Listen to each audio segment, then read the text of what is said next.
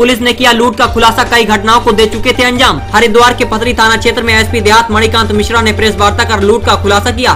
दरअसल 15 मई को सतीश कुमार पुत्र सीताब सिंह निवासी राजीव नगर गोविंदपुरी हरिद्वार को अल्टो सवार चार अज्ञात लोगों ने डरा धमका कर उसकी महिंद्रा स्कूटी, रोडियो, मोबाइल और चार हज़ार रूपए नगद लूट लिए थे। इस संबंध में सतीश ने पथरी थाना में मुकदमा पंजीकृत कराया था। मामला संज्ञान में आने पर पथरी पुलिस द्वारा आरोपितों की धरपकड़ के लिए जगह जगह चेकिंग अभियान चलाया गया। आरोपियों की तलाश कर रही पुलिस द्वारा ग्राम पदार्था के पास सिल्वर कलर की अल्टो कार को शक के आधार पर घेराबंदी कर रोका गया और मौके से दो व्यक्तियों को पकड़ लिया गया, जबकि दो अन्य व्यक्ति अंधेरे का लाभ उठाकर भागने में सफल रहे। पकड़े गए आरोपियों के पास से लूटा गया मोबाइल स्कूटी बरामद कर ली गई है। पकड़े गए आरोपियों का नाम फारूक पुत्र इरशाद व अखलाक उर्फ़ मंगा पुत्र जाकिर निवासीगढ़ बहादुरपुर जट बताया जा रहा है।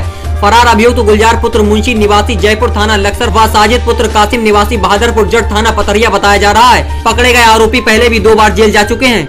वो सतीश कुमार नाम का एक व्यक्ति जो कि शराब के ठेके पर सेल्समैन का काम करता था, वहाँ से वो अपने घर के लिए निकला।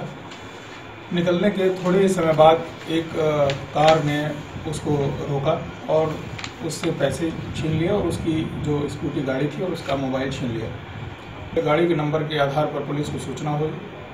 तत्काल पुलिस एक्टिव हुई और घेर कर उस गाड़ी को पकड़ लिया, जिसमें दो लोग गाड़ी में बैठे हुए थे। पूछताछ के दौरान उनसे पता चला कि उन्होंने ये कार्य किया है।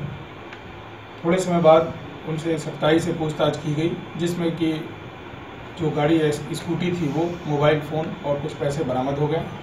उनमें कुल चार लोग शामिल थे इस घटना को अंजाम देने में। दो लोगों को गिरफ़्तार किया गया है, जिसमें एक का नाम फारूक और दूसरे का नाम अखलाक है।